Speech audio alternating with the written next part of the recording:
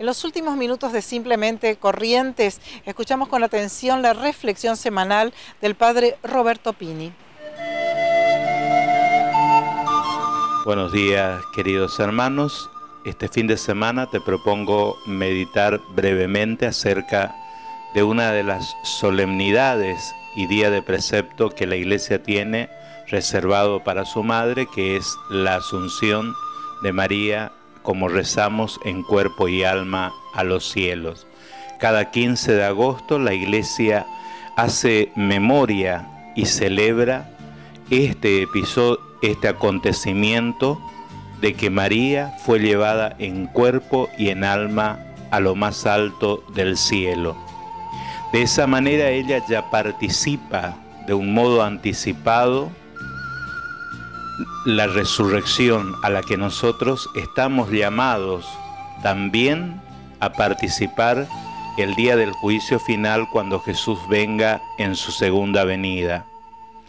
Bien podemos decir que María es aquella que estando en lo más alto del cielo, es la que alimenta y alienta nuestra esperanza como cristianos, como discípulos de sus hijos, como iglesia y como pueblo de Dios peregrino en el tiempo, a fijar nuestra mirada en la Trinidad misma, porque allí es la meta hacia la que nos encaminamos.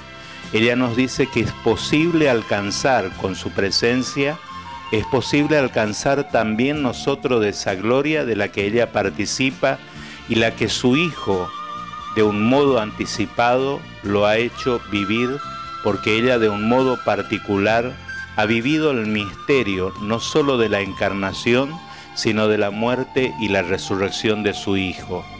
Así como para el misterio de la encarnación, Dios Padre le aplica anticipadamente los méritos de la pasión de Cristo, a nuestra Madre también podemos decir que porque ella estuvo asociada en el momento de la pasión y aguardó con una fe inquebrantable la resurrección, ahora su Hijo la hace partícipe de ella.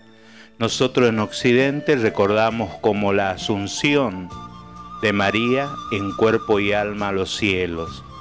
En Oriente recuerdan el día de la dormición de María, pero que Cristo es aquel que viene y busca a su madre, no permite que ella sea alcanzada por la corrupción del sepulcro, sino que es llevada a lo más alto y el texto del libro del Apocalipsis nos habla de esta mujer vestida de sol, del arca de la alianza que ya está en el santuario de Dios, hacia el que nosotros nos encaminamos y peregrinamos como pueblo.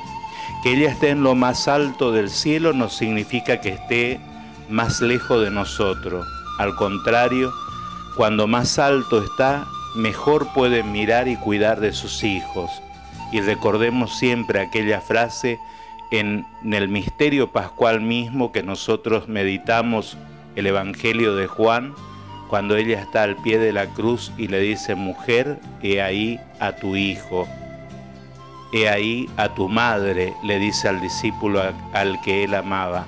De esa manera, ella también en los momentos más difíciles de nuestra vida o de nuestra historia personal siempre está a nuestro lado.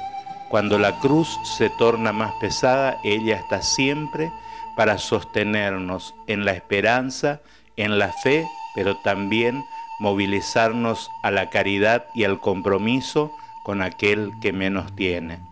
Que tengas un bendecido fin de semana y Dios nuestro Padre derrame su bendición sobre vos y tu familia y de un modo especial sobre los que están enfermos. En el nombre del Padre, del Hijo y del Espíritu Santo. Amén.